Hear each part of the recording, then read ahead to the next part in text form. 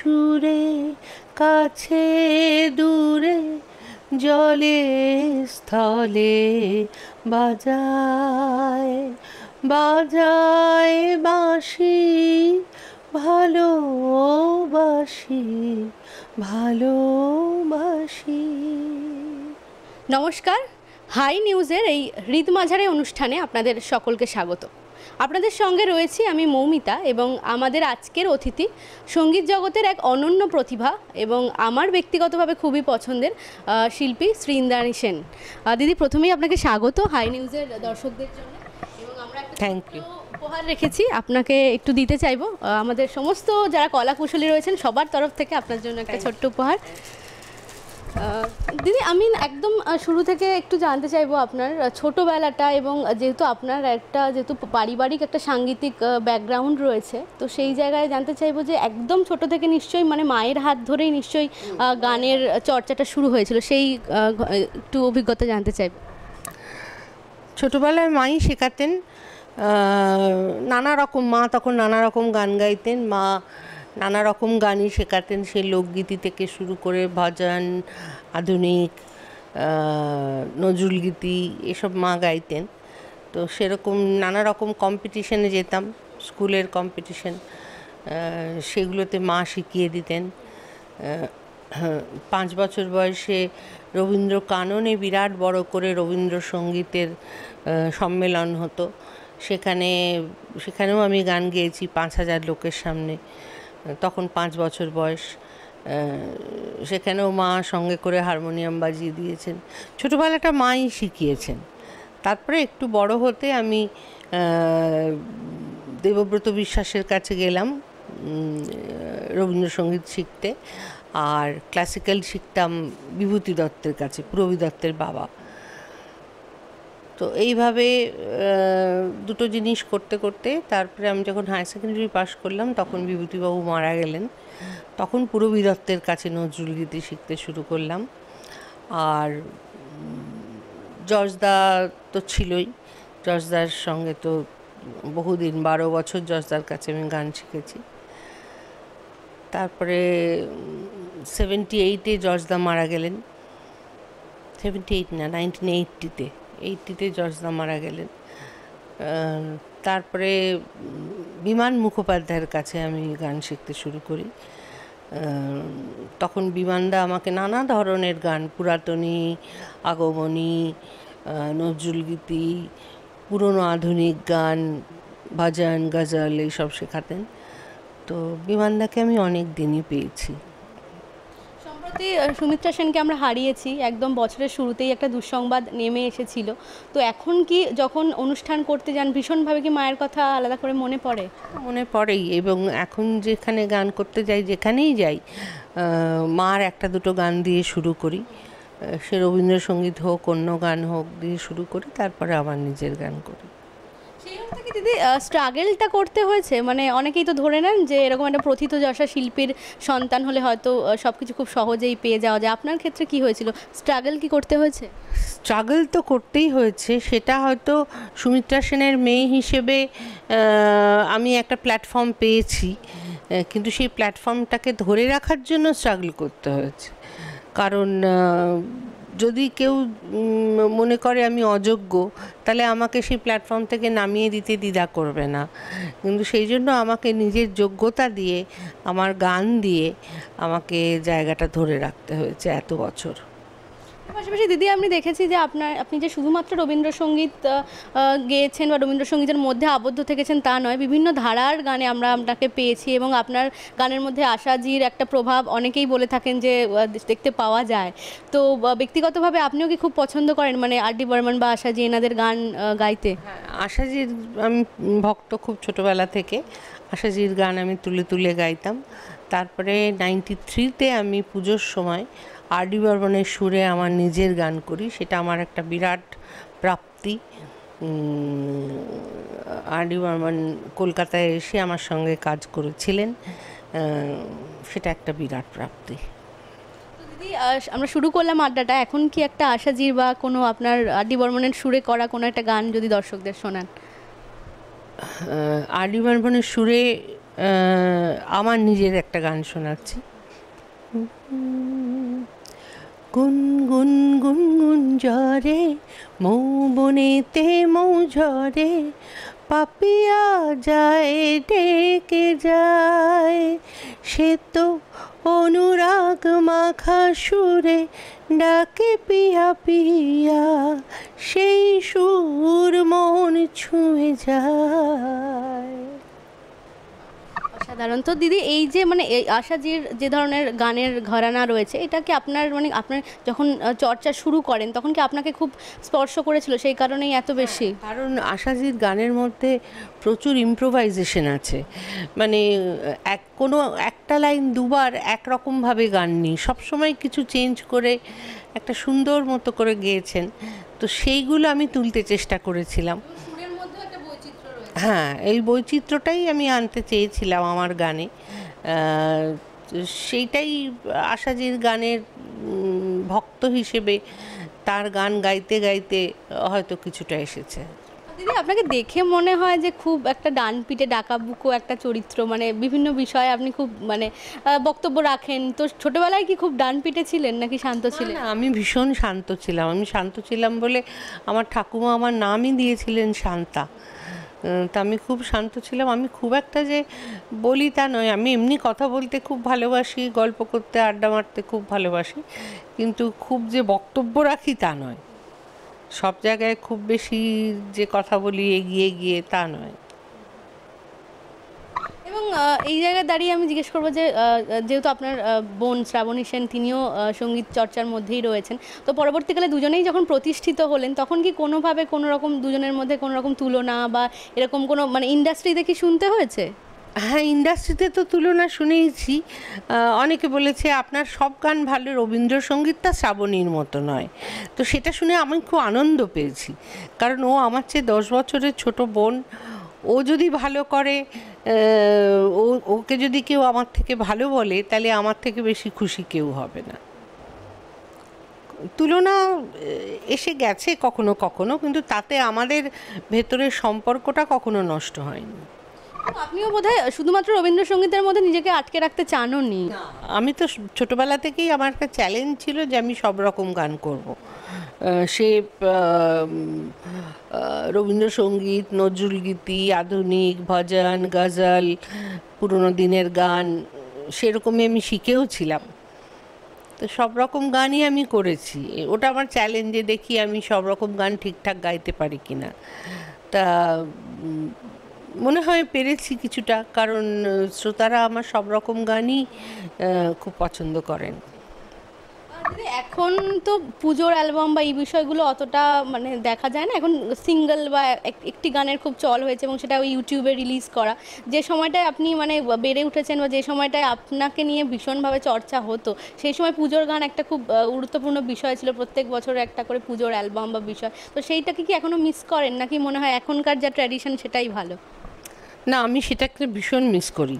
আমার মনে হয় সেই সিস্টেমটা অনেক ভালো ছিল। যেখানে ক্যাসেট ছিল সিডি ছিল, সেগুলো প্রেজারভেশন ছিল, সেগুলো মানুষে রেখে, বাড়িতে রেখে যখন তখন শুনতে পারতো। এটা না যে ইউটিউবের গান কেউ শুনতে পারে না, কিন্তু তাতে ঠিক সেই মজাটা আসে না। আর প্রত্যেক বছরে পুজোর গান হবে কি রবীন্দ্রনাথের জন্মদিনে একটা রবীন্দ্রসঙ্গীত হবে, নজরুলের জন্মদিনের সময় একটা নজরুল গীতি হবে, আমার তো এরকম তিনটে তো বাঁধা ধরাই ছিল। এছাড়া ডিভোশনাল ছিল, ছড়ার গান ছিল আমি ওই রবীন্দ্র জয়ন্তীতে রবীন্দ্রসঙ্গীত নজরুল জয়ন্তীতে নজরুল গীতি আর পুজোর সময় আধুনিক গান। এই তিনটে রেগুলার করে গেছি। তো সেই জন্য অনেক অজস্র অ্যালবাম হয়েছে। এখন খুব মিস করি যে আমার আর ওইগুলো ভালো লাগে না। ওই একটা গান অনেক কষ্ট করে করে ইউটিউবে দিয়ে আমি আর এগুলো করি না। বিষয় দিদি, এখন তো যে কোনো গান বা যে কোনো পারফরমেন্সটা তো অনেকটা দেখার বিষয়ও চলে এসেছে। মানে শুধু শ্রুতিমধুর হলেও হয় না, একটা যেহেতু মানুষ এখন যে কোনো অনুষ্ঠান দেখতেও যান। তো সেটা আপনাদের প্রজন্মের যারা শিল্পীরা রয়েছে, তাদের কাছে কি আলাদা কোনো চ্যানেল চ্যালেঞ্জ মনে হয় যে না, গানটাকে আমাকে শুধু শোনালে হবে না, দর্শকদের কাছে যাতে দেখতেও সেরকম একটা মনে হয়, সেরকমভাবে প্রেজেন্ট করতে হবে? এরকম আলাদা কোনো বিষয় মনে হয়েছে কখনো? একটা প্লেজেন্ট প্রেজেন্টেশন দরকার, কারণ আমরা তো শিল্পী, আমাদের একটা ডিগনিটি আছে। সেই ডিগনিটিটা মেনটেন করে এক একজনের এক এক রকম সিগনেচার ড্রেস আছে। আমার যেমন মাথায় ফুল দেওয়া। তো আমি সেটাই মেনটেন করি। আর লোককে দেখাবার জন্য ওই খুব হাই হাই করে গান, এখন শুনি শুনি অনেকে খুব হই হই করে গান করেন, লাফালাফি, ঝাপাঝাপি করে গান করেন। হ্যাঁ সেই ইন্টারাকশনটা খুব একটা স্বাস্থ্যকর বলে আমার মনে হয় না। এমনিই ভালো করে গান করলে দর্শকরা পছন্দ করেন। ওইভাবে লাফিয়ে ঝাঁপিয়ে সেটা মানে এটা অনেকটা বম্বের স্টাইল বম্বেতে অনেকে করে থাকেন। কিন্তু আমাদের কলকাতার যে সংস্কৃতি, রবীন্দ্রনাথের যে সংস্কৃতি, তার সঙ্গে এটা খুব একটা মেলে না।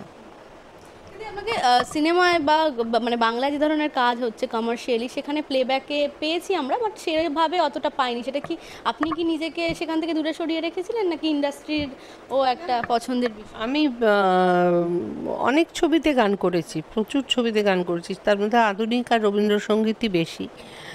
পরের দিকে তো রবীন্দ্রসঙ্গীত, যেমন আমার ভালোবাসি ভালোবাসি, প্রাণের পরে চলে গেল কে এগুলো তো একটা সিগনেচার হয়ে সেই প্রয়োগ সিনেমাতে যথেষ্ট হয়েছে। তো কালকেই একটা সিনেমার গান গেয়ে এলাম এখনও গাইছি। আমি কোনো মানে দূরে সরেই রাখার মতো না। আমার কাছে যেরকম যেরকম অফার এসছে আমি করেছি।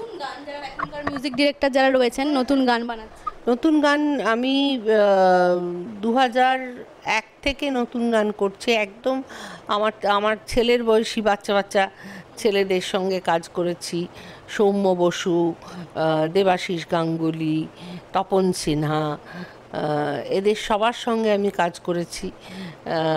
দেবাশিস মজুমদার, এদের সঙ্গে কাজ করে আমার ভীষণ ভালো লেগেছে। ওদের অ্যাটিটিউড ওদের আউটলুক আমার খুব ভালো লেগেছে। সেগুলোও একটা নতুন এক্সপিরিয়েন্স যে এখনকার ছেলে মেয়েদের সঙ্গে কাজ করতে পারি কি না বা তারা আমাকে পছন্দ করবে কি না সেটা আমি করেছি।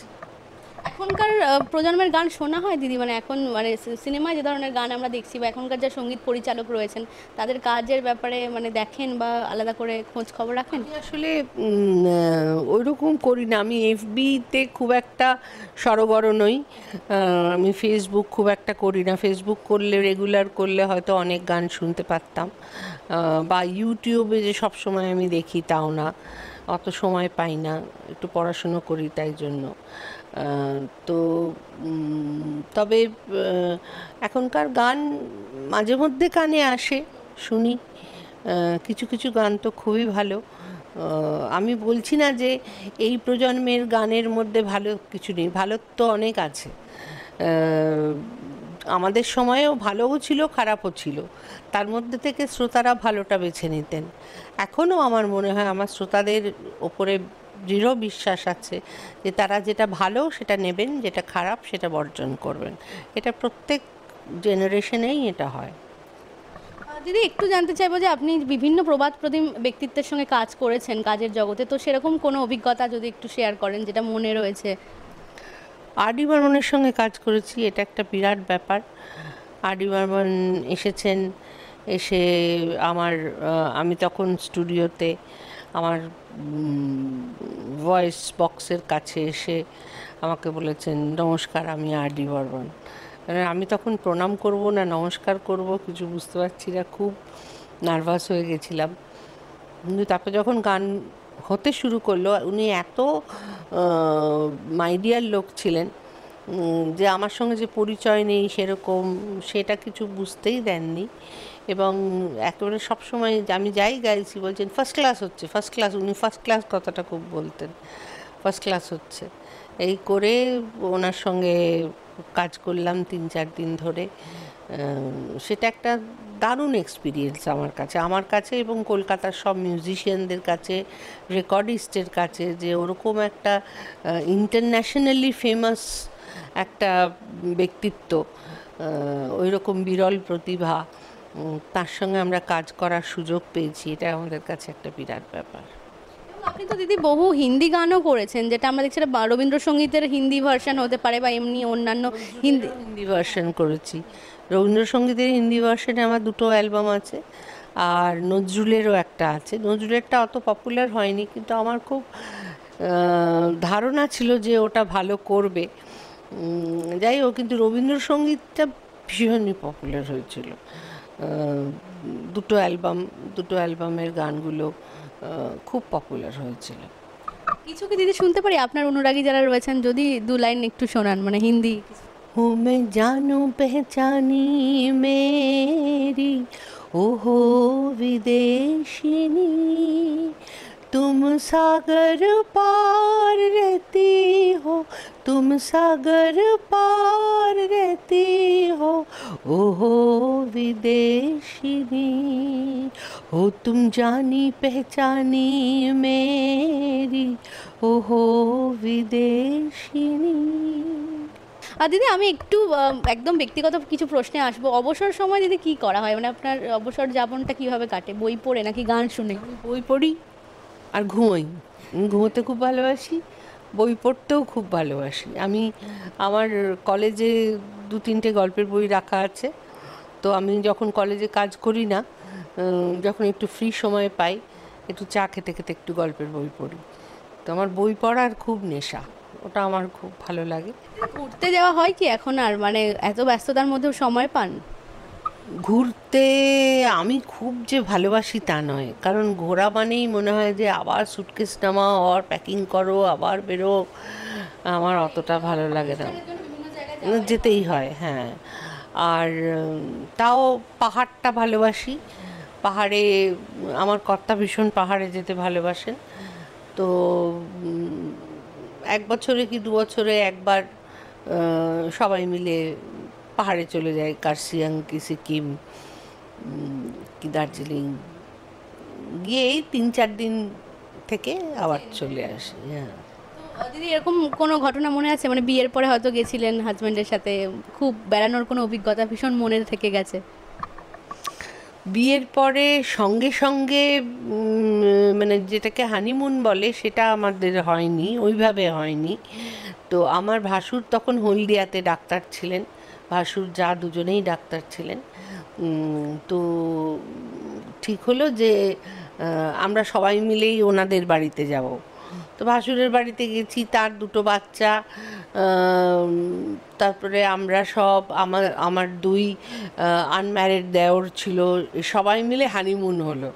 কিছুই না, আমি, আমরা হয়তো, আমার যা বলল যে তোমার, তোমাদের একটু একা ছাড়া হচ্ছে না, তোমরা এক কাজ করো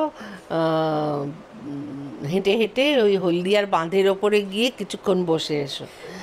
তো আমরা হেঁটে হেঁটে গিয়ে বাঁধের ওপরে বসলাম। কিছুক্ষণ বাদে একটা সাইকেলের ক্রিং ক্রিং আমার এক দেওর এসে হলো কিরে তোরা ঠিক আছিস তো? বলে আবার চলে গেল। আবার কিছুক্ষণ বাদে আরেকটা সাইকেলের ক্রিং ক্রিং আরেক দেওর এসে কিরে তোদের কিছু লাগবে? তখন আমি বললাম দূর বাবা এরকম হানিমুনের কোনো মানে হয় না চলো। ভীষণ জানতে ইচ্ছে করছে যে আপনাদের বিয়েটা ঠিক কীভাবে হয়েছিল। আমাদের বিয়েটা অ্যারেঞ্জড বিয়ে হয়েছিল। অ্যারেঞ্জ বিয়ে হয়েছিল আমার যখন বিয়ের কথা হয়েছিল তখন ওদের বাড়ি থেকে সব দেখতে এসেছিল আমাকে। তারপরে ওরা চলে যাওয়ার পরে আমার হাজব্যান্ড একা এসেছিল। তখন যখন একা এসেছিল, তখন আমি খুব নার্ভাস ছিলাম যে আমার সঙ্গে কী কথা বলবে। তা ও অ্যাকচুয়ালি ইংলিশের লোক। তা আমি তখন হাই সেকেন্ডারি পাসও করিনি হাই সেকেন্ডারি টেস্ট দিয়েছি সবে। তখন আমাকে এসে বলল যে আমি তো খুব দুরু দুরু বককে অপেক্ষা করছি যে কি হয়তো খুব প্রেমের কথা বলবে বা কিছু বলবে। তখন বলল যে, তুমি, না তুমি না, আমাকে বলল যে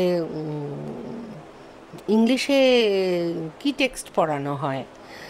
তখন আমি বললাম মার্চেন্ট অফ ভেনিস তখন বলল মার্চেন্ট অফ ভ্যারিয়েন্স আচ্ছা কার ক্যারেক্টার ভালো লাগে? আমি তো মহা মুশকিলে পড়লাম। কোন রকমে বলে টুলে ম্যানেজ করেছিলাম। পরে আমি বিয়ের পরে অসংখ্যবার বলেছি যে, এই যে তুমি আমায় জিজ্ঞেস করেছিলে, এই মার্চেন্ট অফ ভেনিসের ক্যারেক্টার এ তো আমার সারা জীবন মনে থাকবে। আর ও চিঠি লিখতো যখন বাইরে থাকতো চিঠি লিখতো ও বাংলায় লেখার চেষ্টা করতো কিন্তু অজস্র বানান ভুল। আমি আবার সেইগুলো কারেক্ট করে আন্ডারলাইন করে আবার ফেরত পাঠিয়ে দিতাম। মানে গান শোনার আবদার করেননি কখনো আপনার কাছে? ও গান ও নিজের ওর গলাও ভালো ভালো গান করতে পারতো গজল টজল লিখতো এককালে। তো ওর লেখা গজলও আমি গেয়েছি। কিন্তু ও আমার অন- অনেক কিছু ঠিক করে দিয়েছে। আগে যেমন আমার বাবা সমস্ত, আমি কি কি গান গাইবো রেকর্ডে সমস্ত কিছু বাবাকে শোনাতে হতো। বাবা তার মধ্যে থেকে ঠিক করে দিতেন কোনটা কোনটা। কিন্তু বিয়ের পরে সেটা ও করেছে। আমার হাজব্যান্ডই সব ঠিকঠাক করে দিত, কোনটা কোনটা গাইব, কীভাবে গাইবো। ও যদিও খুব একটা ফোর ফ্রন্টে আসতো না কখনো কিন্তু পেছন থেকে আমাকে খুব আমাকে সাহায্য করেছে। দিদি আপনার পরিবার কি খুব কনজারভেটিভ ছিল? বা পরবর্তীকালে যে পরিবারে এলেন সেখানেও কি কোনো সময় মানে কারণ আমার শ্বশুর মশাই ছিলেন আর্মির ডাক্তার। তো আমার শাশুড়ি আর্মির এই সারা জীবন কাটিয়েছেন। তার ফলে উনি খুব উদার মনস্ক ছিলেন। যদি কনজারভেটিভ হতেন, তাহলে আমাকে গানও করতে দিতেন না, পড়াশোনাও করতে দিতেন না। তো আমার আঠেরো বছর বয়সে বিয়ে হয়েছে, সবটাই আমার বিয়ের পরে। পড়াশোনাও তাই, গান বাজনাও তাই। তো উনি সংসারটা নিজে করতে ভালোবাসতেন। সংসারটা ওনার খুব প্রিয় জায়গা ছিল। তার ফলে আমার সুবিধেই হয়েছিল, আমাকে সংসারের খুঁটিনাটি কিছু করতে হয়নি। বাচ্চাকেও প্রায়, আমার মেয়ে যখন হয় মেয়েকে মানে আমি তখন কলেজে পড়াতাম, তখন আমি ফাংশানে যাচ্ছি, আমি গান শেখাতে যাচ্ছি তখন উনি আর কি বাচ্চাকে দেখতেন, এসব করতেন। উনিও খুব হেল্প করেছেন আমাকে। সুতরাং কনজারভেটিভ একেবারেই ছিলেন না। গানের বিষয় নিয়ে কথা হচ্ছিল আপনার সঙ্গে। একটু জানতে চাইব যে এখন রবীন্দ্রসঙ্গীতকে যেভাবে প্রেজেন্ট করা হয় মানে একটা ফিউশন ভাবে বিভিন্ন সুরে এখন রবীন্দ্রসঙ্গীত হচ্ছে নতুনভাবে, তো সেগুলো আপনি কীভাবে মানে গ্রহণ করেন? আপনার কি ভালো লাগে? নাকি মনে হয় যে না, ওই প্রথাগত বিষয়টাই রাখা উচিত? গানে রবীন্দ্রনাথের গানটা এতটাই স্বয়ং সম্পূর্ণ যে তার মধ্যে আর অন্য কিছু ঢোকাবার কোনো প্রয়োজন হয় না। যতটুকু করা যায় সেটা হচ্ছে অ্যারেঞ্জমেন্টটাকে সুন্দর করা যায়। তার সঙ্গে যে মিউজিকের কানেকশন, সেইগুলো মিউজিকটা সুন্দর করে করা যায় গানের ব্যাপারটা মাথায় রেখে। তো সেইটা যদি ঠিক মতো করা যায়, তাহলে আর আমার মনে হয় না গানটাকে নষ্ট করে বা গানের মধ্যে অন্য কিছু ঢুকিয়ে সেটাকে ফিউশন করার কোনো দরকার আছে বলে আমার মনে হয় না। দিদি, একটু জানতে চাইব যে এখনকার শিল্পী যারা রয়েছেন, আপনার কার গান ভালো লাগে বা সেরকম কেউ রয়েছেন? মুশকিল। এখন যারা আছে, তাদের সবার গান আমার ভালো লাগে। আমি নাম করতে গেলে কয়েকজনের নাম বাদ চলে যাবে, সেটা ঠিক না। এখন যারা গান করেন, সবার গান খুব ভালো। আমার সবাই খুব প্রিয়, ছোট বোন, ছোট ভাই ওদের সঙ্গে, সবার সঙ্গে আমার খুব ভালো সম্পর্ক। বিষয় চলে এসেছে। দিদি, এখন অনেকেই মনে করেন যে গানের জগতে মানে প্রফেশনালি পা রাখার জন্য হয়তো রিয়েলিটি শো একটা ভূমিকা পালন করে। অনেকেই মনে করেন এখান থেকে এই জার্নিটার মধ্যে দিয়ে গেলে হয়তো একটা প্ল্যাটফর্ম পাওয়া যায়। তো আপনি কি, আপনার কি ধারণা যে, এটা কি শুধুমাত্র একটা ওই লাইমলাইটের মধ্যে চলে আসে, নাকি এটাও একটা গানের জগতে একটা প্রতিষ্ঠান মানে একটা প্রতিষ্ঠা দেয় শিল্পীদেরকে বা নতুন যারা গান করতে চান তাদেরকে? জগতে দেখো, প্রতি বছর একটা না একটা একটা কেন, দুটো, তিনটে করে রিয়েলিটি শো হয়। তার থেকে তো অন্তত কুড়ি তিরিশ জন উঠে আসে। এবং এই কুড়ি তিরিশ জন আবার পরের বছরের কুড়ি তিরিশ জনের মধ্যে হারিয়ে যায়। তো রিয়ালিটি শোটাকে আমি খুব একটা গুরুত্ব দিই না। কিছু কিছু যারা সত্যিকারের ভালো গান করে তারা থেকে যায়। কয়েকজন উঠেও এসেছে এর মধ্যে। কিন্তু আমি রিয়ালিটি শোটাই যে প্রতিষ্ঠা পাওয়ার একমাত্র সিঁড়ি সেটা আমার মনে হয় না। আপনি কখনো বিচারকের জন্য ডাক পেয়েছেন? মানে কখনো আপনাকে বলা হয়েছে বিচারকের আসনে বসার জন্য? প্রথম যেটা হয়েছিল একদম প্রথম রিয়ালিটি শো গোল্ডেন ভয়েস সেখানে আমি যাচ্ছিলাম তো আমি ছিলাম দেবজ্যোতি মিশ্র ছিল, তারপরে তবলার তন্ময় ও ছিল। সেটা খুব মানে আমাদের খুব মজা লেগেছে, আড্ডা মেরে টেরে কাজ করেছি একসঙ্গে, খুব ভালো লেগেছে। তো তারপরে রিয়ালিটি শো সেভাবে আমি করিনি, আর একটা বাচ্চাদের জন্য করেছিলাম। আমি আর সনজিৎ মণ্ডল। তো সেই রকম কাজ করেছি। আর সারেগামা পাতে আমি একবার ওই গেস্ট জাজ হয়ে গেছিলাম। কারণ আমার পক্ষে ওই অতদিন সময় দেওয়াটা খুব মুশকিল। আমার কলেজ থাকে তো, যার জন্য আমি রেগুলার পরপর পাঁচ ছ দিন ওইভাবে আমি টাইম দিতে পারি না। অনেক ক্ষেত্রে এরকম শোনা যায় যে নতুন বাংলা গান বা বাংলা গান হয়তো মানে গোটা দেশের নিরিখে আমি যদি বলি অনেকেই শুনছেন না বা বাংলা গানের যে পরিসরটা অনেকটা ছোট হয়ে এসেছে। তো আপনি তো বিভিন্ন জায়গায় যান, অনুষ্ঠান করেন, আপনার কি মনে হয় যে বাংলা গান কি এখনও সমহিমায় আছে নাকি একটু হলেও বাংলা গান এই হিন্দি বা অন্যান্য দক্ষিণী গানের মানে তার প্রভাবে কিছুটা হলেও তার চাহিদাটা কমছে? না না, সেটা আমার মনে হয় না। কারণ বাংলা গান, বিশেষ করে রবীন্দ্রসঙ্গীত রবীন্দ্রসঙ্গীত আজ থেকে হাজার বছর পরেও এই একই সমহিমায় থাকবে। কারণ তার যে কথা, যে ভাব, যে সুর সেটা হচ্ছে একেবারে চিরকালের সার্বজনীন। সুতরাং সেইগুলো সবসময় থেকে যাবে। তার গুরুত্ব কখনোই কমবে না।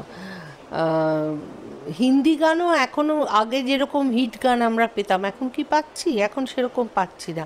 আর বলিউডের গান বেশিরভাগই দেখছি সুফি টাইপের হচ্ছে। প্রথম থেকেই একটা উচ্চগ্রামে চিৎকার আরম্ভ হচ্ছে।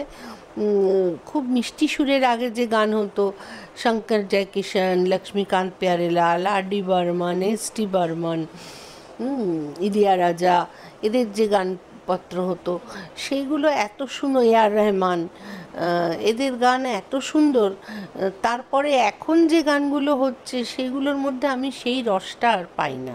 সুতরাং আমার মনে হয় না যে বম্বের গান খুব একটা প্রতিষ্ঠা পাচ্ছে। সেই ক্ষেত্রে বাংলা গান তো এখনও টিকে আছে। বাংলা গান যারা যারা গাইছে তারা যথেষ্ট ভালো কাজ করছে। অসংখ্য ধন্যবাদ। আপনার অসংখ্য অনুরাগী গুণমুগ্ধরা রয়েছেন পর্দার ওপারে যারা এই মুহূর্তে এই অনুষ্ঠান দেখলেন। আমার মনে হয় তাদের জন্য আবার নতুন করে দিদির জীবনের কিছু গল্প আমরা তুলে ধরতে পারলাম।